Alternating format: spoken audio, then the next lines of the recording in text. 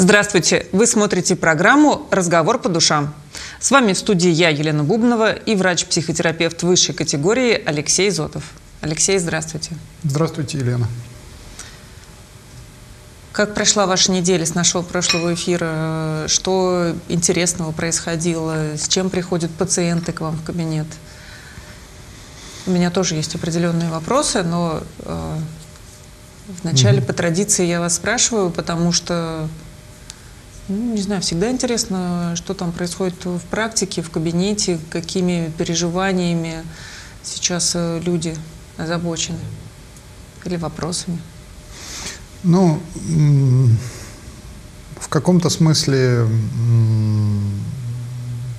я имею в виду в рабочем смысле, практически мало что поменялось. Или ну, не, сказать, что я слежу за какими-то изменениями и где-то у себя там помечаю. Вот. Не, не всегда это отдаю себе отчет, что какие-то другие темы приносят. Нет, люди приносят э, какие-то супружеские свои вопросы, э, то есть э, общение супругов друг с другом. Э, вот. Люди приносят э, Э, какие-то свои собственные невозможности. Ну, например, э, может быть, мы к этому вернемся. Э, девушка рассказывает о том, что она не может посещать общественные туалеты ну, в силу определенных причин. Да? Вот. А поскольку она студентка и поскольку ну, она хочет вести обычную жизнь, как все другие, да, ходить по магазинам, куда-то ездить, вот, то это накладывает определенные ограничения на ее угу. перемещение. То есть ей приходится выкручиваться. А, вот. Ну и, в общем, как-то вот так, если уклончиво или не уклончиво, а в общем, ну, все люди приносят то, что их беспокоит, да. Вы начали говорить про общение между супругами, и один из вопросов, э, которые мы наметили с вами на эту программу, это вопросы коммуникации, мне кажется, тему, которая интересует практически всех, потому что э, люди постоянно пересказывают э, чужие диалоги, они пытаются делать выводы, как-то комментировать, э, давать оценку, э, пытаться узнать э, скрытый смысл. Э, э, но вы обозначили еще и вторую тему ограничений, э, с которыми люди приходят. Тоже мне кажется, вот эти ограничения имеют настолько разнообразные виды и формы э, в своих проявлениях у людей, угу. что ну, тоже может стать темой обсуждения. Угу. Ну, Вам предоставлю этот выбор, в какую сторону двинемся. Пока мы ждем звонков от наших телезрителей. Да, может быть, напомнить. У нас прямой эфир, телефон в студии 202 11 22. Звоните, рассказывайте свои истории. Мы с Алексеем готовы включиться, поделиться своими мыслями, опытом, знаниями какими-то. Ну, может быть, даже и не столько и не только готовы поделиться, готовы эм, вступить э, в разговор. И, может быть, вот этот мой ответ будет сегодня, ну, такой ответ, да, вступить в разговор. Э, ну, так, так, получи, так получилось, э, что вот последние дни я как раз об этом очередной раз раздумываю, о, том, что вы назвали коммуникацией, общением, да, то есть когда э, люди друг с другом ну, каким-то образом взаимодействуют, словесно, вербально, невербально, и э, когда мы с вами предварительно вот сегодня говорили, ну, может быть, это э, интересно будет нашим зрителям, да, такая затравка и такая идея о том, что э, даже те э, жалобы, те симптомы, те ограничения, как, например, в моем примере, как, как в моем примере про студентку, которые касаются вроде бы ее одной. Она не может посещать общественные туалеты. На это тоже можно посмотреть со стороны коммуникации. Со стороны коммуникации можно посмотреть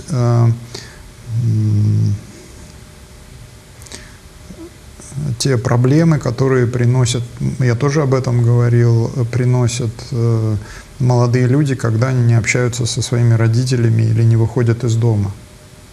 То есть я хочу сказать, что я вот специально сейчас, может быть, затягиваю этот момент, но для того, чтобы здесь э, поставить акцент, что там, где, может быть, люди видят разрыв общения, разрыв коммуникации, они иногда так и говорят, у меня с моим мужем или с моей женой не получается нормальный разговор. Или у меня с родителями нарушенные отношения, или у меня с родителями нет коммуникации, или у родителей нету, да. То есть в данном случае э, человек на что-то указывает, на и осознает. Но даже там, где он на это не указывает, например, человек приходит с паническими расстройствами, человек приходит с тоской и депрессией. И э, подчас а, психолог, психотерапевт предлагает а, человеку начать копать в самом себе, если мы говорим про тревогу и депрессию. И это может быть очень долгим таким копанием, может быть даже не сильно результативным, потому что в этот момент не рассматривается коммуникативная сторона этих расстройств ну, депрессивных угу. или тревожных. Хотя кажется, или там на, на первый взгляд не, и на второй не всегда видно, каким образом тревога, депрессия, тоска, бессонница, трудности в передвижении э, психогенного свойства, панические расстройства, э, проблемы с весом, каким угу. образом это связано вообще с сообщением, да, каким образом это связано вот с той самой коммуникацией. Давайте сузим, э, пример какой-то разберем. Э, ну, например, э, в семье супруги перестали разговаривать друг с другом, ну, от слова совсем. То есть они ходят и молчат. То есть это тоже является коммуникацией. Вот Елена, тут важный момент, э, да, ну, безусловно, это является коммуникацией. Важный момент в том, чтобы еще раз сейчас повторить э, банальность, которую, я уверен, и наши телезрители тоже знают, что это, скорее всего, коммуникация. Ну, то есть, когда мы друг с другом не разговариваем, ну, я как супруг, например, да, с, со своей супругой, то э, мы в этот момент разговариваем не разговаривая, да, мы о чем-то разговариваем. То есть вот эту мысль, мне кажется, интересно запустить и посмотреть, как дальше понимание этого взаимодействия будет разворачиваться, да. То есть, когда я не разговариваю и думаю, что наше общение прервалось, то у меня одни мысли и фантазии по этому поводу. Когда я не разговариваю и думаю, что мое общение продолжается, но на другом каком-то языке, э, не, э, невербальном, как мы говорим, да, то, может быть, эта э, мысль приведет меня, рассуждающего, каким-то другим выводом. Может быть, это приведет к другим выводам наших телезрителей, может быть, нас, нас с вами сегодня это приведет к каким-то интересным выводам. Э, о чем говорят люди, когда э, они не разговаривают. О чем, говорит, э, о чем говорят супруги, когда жена вспоминает мужу его алкогольные дела там, десятилетней давности. Вот они живут, уже эта тема давно закрыта, ну, муж не выпивает крепко. Или носки разбрасывал 10 лет назад. Да, угу. да. И вот что-то в этот момент, э, э, помимо э, придирки, которые, как кажется, или муж жене говорит, не знаю, что-то может быть о тратах, может быть о ее подругах.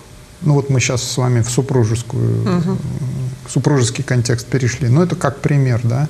Ну вот, допустим, жена попрекает мужа за прошлые какие-то грехи, которых он уже в настоящем ну, не совершает. Я правильно поняла? Угу.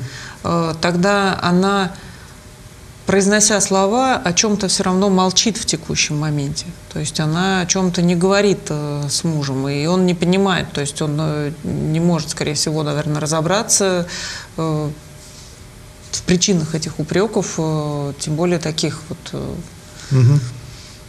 ретро-упреков, я бы так сказала. Ретро-упреки. Но здесь, э, может быть, жена знает, но молчит. Ну, то есть она знает, о чем она не говорит.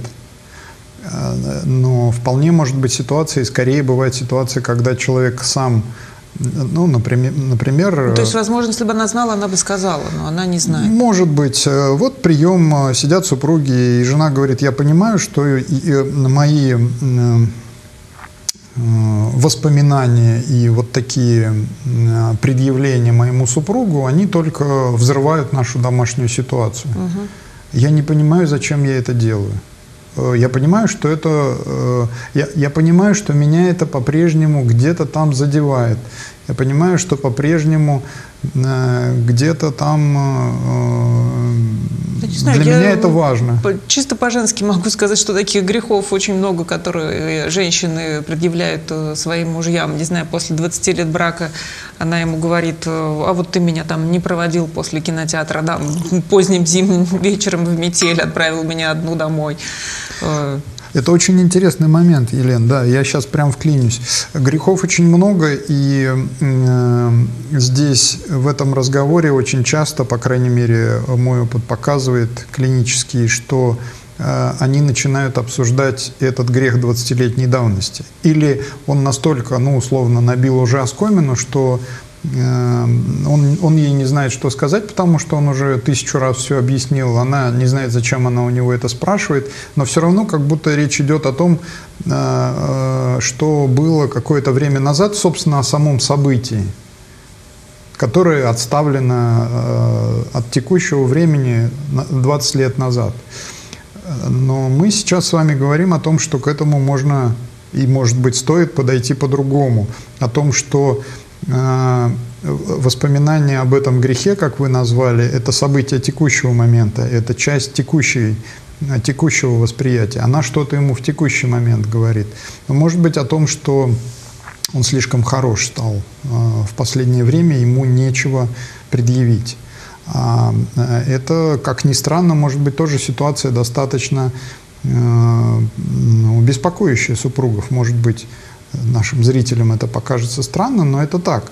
Э, Жить с э, э, условно ангелом или жить с человеком, который безгрешен, очень сложно, потому что надо что- что-то делать со своими грехами. Ну, ошибками, да, уйдем от лексики такой вот на, на грани, да, говорим ли мы о религии или в данном случае о светских каких-то вещах говорим, да, вот. Э, Что-то в этот момент, э, воспоминание об этом имеет какое-то значение. И э, тут мы с вами в интересной ситуации, потому что мы можем гадать эдак или эдак, и зрители с нами могут гадать, как, что, что хотела сказать жена, когда, или что она хочет сказать, когда каждый раз вспоминает, да, ну вот опять ты, вот опять ты вспомнила, или да, вот опять ты вспомнил. А, Но я могу утвердительно сказать, что когда мы начинаем это рассматривать э, в конкретной семье, там всегда есть конкретное содержание у этого посыла, да, у этого э, воспоминания, э, которое является упаковкой, является формой, в которой пом- помещено какое-то содержание, касающееся текущего момента. То есть э, мы, конечно, тут не даем в программе рекомендаций, каких-то инструкций, э, но тем не менее, если в семье происходит какая-то э, коммуникация, какое-то общение, которое, казалось бы, не имеет отношения к реальности, в нем нет логики в этих претензий, претензиях, то стоит эту все равно логику поискать, то есть привязку к текущему моменту. Ну, например, ты меня там не встретил и не проводил, э, мне тогда было очень обидно, и сейчас э, я боюсь, э, ну, что тоже, тоже снова сделаешь что-то, что меня обидит, и мне будет так же больно. Ну, я такую гипотезу выдвигаю. Ну, может быть. Э, мы с вами, конечно, можем такие рекомендации дать. Э, не всегда этими рекомендациями можно воспользоваться, потому что указание или предписание ищи логику в том, что сейчас происходит, какую-то логику, да, оно не всегда. Ну хорошо, я 10 раз об этом подумал, никаких новых мыслей мне в, эту, мне в голову не пришло. Зачем я это делаю, говорит супруга, да. И муж говорит, у меня никаких мыслей не пришло, чего она хочет у меня в этот момент спросить. Э, и в определенном смысле это такая запечатанная, э, герметичная коммуникация, которая кажется действительно вырванные из контекста и ну, не относящиеся к настоящему. Да? Вы, точнее, не вырв... а погруженные в контекст настоящего, вырванные из прошлого откуда-то. Но моя задача сейчас была как раз проиллюстрировать, что на это можно смотреть как на продолжающееся взаимодействие, как на продолжающееся как на использование некого языка, которым вот э, супруги что-то хотят друг другу сказать. Если мы говорим о, не только о супругах, но, например, о детско-родительских отношениях, когда взрослые общаются с ребенком, э, и ребенок отказывается говорить, отвечать, э, ну, тоже как-то молчит. Но при этом он хулиганит, э, разрушает. Это же тоже такая определенная форма коммуникации. Как там быть? И можем ли мы там давать какие-то э, рекомендации родителям? Но мы знаем некоторые подходы, э, потому что это в определенном смысле типичные, типичные подходы. Да? Содержательная часть э, от меня изменяется. Ну, э, мы можем сказать, что э, словесная, вербальная коммуникация или вообще языковая среда – это сильное э, место любого взрослого по отношению к ребенку. Ребенок просто не в состоянии взрослому ответить на его уровне. А, но у ребенка есть другой язык, язык поведения. Да? И, может быть, э, родитель вольно или невольно хочет, чтобы ему ребенок сказал языком, а ребенок не вмещает, не может сказать это языком. Да? Поэтому он говорит Э, на своем языке э, поведений, э, каких-то соматических, может быть, трудностей, да, инуреза, я не знаю, заикания, еще чего-то, да, полноты или худобы, ну, то есть что-то происходит с телом ребенка, которое является вот, ну, в этом смысле определенной языковой средой. И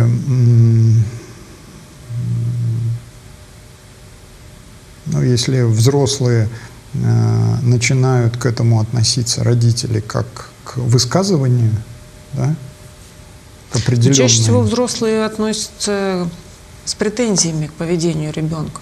То есть они не понимают, э,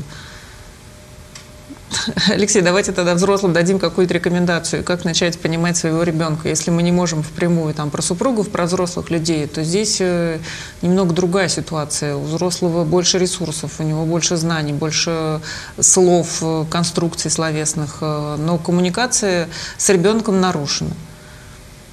Как родителю начать понимать своего ребенка? Как, может быть, перестать с ним разговаривать сложными конструкциями? Я бы, конечно, с удовольствием сейчас, э, Елена, ваш вопрос переадресовал нашим зрителям не потому, что на него нет ответа, а потому что, может быть, э, содержательным были бы ответы э, людей, которые уже нашли. Но к вашему вопросу я могу сказать то, что уже то, тоже и так известно. Ну, язык игр – это язык детей, язык беготни, язык, э, когда взрослый, если ребенок достаточно небольшого возраста еще, когда взрослый со своей верхотуры опускается на пол, да, потому что пол это пространство ребенка, ну до определенного возраста, да. Если он спускается со своих небес, со своего Олимпа вот на этот пол, э, и э, мы с вами уже говорили, что хоть я, может быть, сейчас и высказываюсь неопределенно, ну, то есть, ну, каких-то ориентиров таких нет, кроме того, что как будто э, за моими словами Я хочу сказать, что так или иначе все является коммуникацией. Там, где люди ругаются, не разговаривают, э, друг друга, там ребенок бьет родителя, да, или он не спит ребенок, да, или взрослый подросток уже тот, который ходит в университет, приходит и говорит, у меня была паническая атака, да, то есть и ему говорят, слушай, ну, наверное, с тобой что-то происходит, вот надо тебя к доктору отвезти, его отводят, но он приносит в этот момент еще и какое-то содержание, какое-то сообщение родителям. Например, мне страшно среди этих незнакомых людей, да, я остаюсь один на один, э, я думаю, что они меня там будут критиковать, да, э, ну, например, боязнь социальных пространств – это боязнь выглядеть э, неуместно, нелепо, ну, э, стыд, стыдно сделать что-то, упасть, да, я упаду, и все будут видеть. Боязнь э, публичных выступлений. Это все, но в этом всегда есть вот этот контекст общения с кем-то, да. Я боюсь с кем-то поговорить, я боюсь кому-то обратиться. Почему боюсь? Но очень часто за этим стоит, меня будут осуждать. Угу. Да? И э, я прихожу домой, и я не могу сказать, что я боюсь, что меня там будут осуждать. Для этого нужно определенным уровнем, уровнем рефлексии обладать, и этот уровень у наших пациентов, например, возникает, да, у пациентов психолога, психотерапевта. А до этого вот я пошел, дыхание мое вдруг участилось или наоборот остановилось, сердце стало стучать, ноги стали ватные, и меня заполнил страх, и мне, ну, я ничего не могу сделать, да, такое какое-то описание. Вот. И, и вот э, я, значит, прихожу и об этом рассказываю. А мне говорят, что я сломался. Поэтому я вернусь к мысли. Э, здесь разговор не только о том, что любое взаимодействие можно рассматривать с позиции коммуникации, да, даже если я один с самим собой. А, но и а, мы можем а, наши гипотезы по поводу того, а что мне хотят сказать и что я хотел сказать, я могу эти гипотезы проверять, и тогда эти опорные моменты возникают, да. Мы тут с коллегой разговариваем, он говорит, он занимается семейной терапией, он говорит, Э, когда специалист сидит и слушает супругов, то э, он говорит, я э, учу своих студентов смотреть не на того, кто говорит, а на того, кто молчит в этот момент, то есть на того, кто является эм, адресатом этой коммуникации – Э, э, не так важно смотреть на супругу, которая что-то говорит в этот момент. Посмотри на мужа, что он в этот момент делает, что у него на лице. Он, или, или муж говорит да, ей, он, э, он отвернулся, он скучает, он вовлечен, он приж... ну, так, немножко так сказать, приблизился к ней или наоборот отстранился, он сидит в телефоне, ну, пока жена говорит, да, его ни о чем не спрашивают, он может то есть вот, вот она коммуникация, да, в этот момент э, происходит. И специалист в этот момент может посмотреть, да, что происходит, когда э, внутри семьи э, папа что-то э, говорит маме, как ребенок себя ведет в этот момент, да, ну посмотрите краем глаза, как он воспринимает это взаимодействие, да, он э, замирает, он э, уходит в другую комнату, он начинает шумно как-то играть. То есть э, вот когда люди начинают на это обращать внимание, у них появляются вот эти самые опоры, которых сейчас, может быть, не видно за этим ну, более-менее абстрактным разговором. Угу. Потому что сам по себе разговор, вот как мы с вами сейчас говорим, он может длиться, наверное, несколько часов. И тут э, сами по себе смысловые опоры не возникают, если мы не рассказываем каких-то интересных историй, анекдотов, ну, что-то, чему нужно давать, э, что может внимание такое к себе приковать, да. Вот, поэтому э, они там, эти опоры всегда есть. Ну, какие-то важные моменты, да. На приеме сидит женщина, что-то говорит и умолкает. То есть в этот момент она что-то продолжает говорить, и своим молчанием в том числе. И в этом смысле я вот, вот так вот, наверное, свою мысль э, закончу. В этом смысле э, люди э, в кабинет, вот я в последнее время думаю над этим, э, люди в кабинет, мои пациенты, клиенты, они приносят некие э, свои собственные фразы, с которыми они маются, может быть, на протяжении длительного времени, которые они пытаются выразить симптомами своими, да, может быть, э, какими-то э, там, ну, молчанием, да, болями какими-то. Это фразы, которые звучат, но которые не находят э, понимания, не находят отклика. И в этом смысле, конечно, работа специалистов вступить в эту коммуникацию, да, э, не оставить человека один на один с его собственными, ну вот вам, не знаю, упражнения, делайте угу. там, ну и ждите результата. Хотя само по себе это тоже коммуникация, да я вам даю, и вот там сами занимайтесь. Или э, приходит ко мне мужчина и говорит, мы в прошлый раз на предыдущей сессии там о чем-то договорились, он говорит, Алексей Михайлович, а я не сделал ваше задание. Я говорю, слушайте, ну и, ну и слава богу, может быть, вы, наверное, занимались чем-то другим хорошим. Он говорит, странный ответ. Я говорю, почему? Он говорит, я думал, вы меня будете ругать. И ну, для меня здесь сразу есть что-то, что можно, по крайней мере, не, может быть, не обсуждать, а задуматься, да, как, как в качестве кого он меня воспринимает, почему я фигура э, ругающая и так далее, да. Вот это те самые, э, это та самая идея, приносит вот эту неоконченную коммуникацию. Но специалист – это специалист по коммуникации. Я подумала, вот возвращаясь к вопросу, почему жена попрекает вот этими ретро какими-то ошибками своего мужа. Может быть, она хочет от него какой-то эмоциональный отклик. Он э, не только стал слишком хорошим, ну или, возможно, даже он не стал хорошим, угу. но он стал э, неэмоциональным. И поэтому вспомнить прошлое, это возродить в памяти проживание каких-то бурных чувств, эмоций, то есть проявление чего-то живого, человеческого. Это я к тому, что вот в каждой ситуации вы обозначили вопрос, а что он хочет мне сказать, что я хочу сказать. Э, действительно, если такими вопросами задаваться, там можно найти много гипотез, как вы озвучили, которые можно потом впоследствии проверять.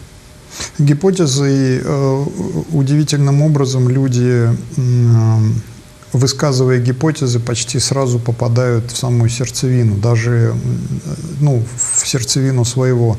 Например, женщина в этой ситуации близко к контексту сказала о том, что э, то доверие, которое у нее сейчас есть к супругу, оно очень зыбкое, и, она, и оно было повреждено в самом начале их э, общения.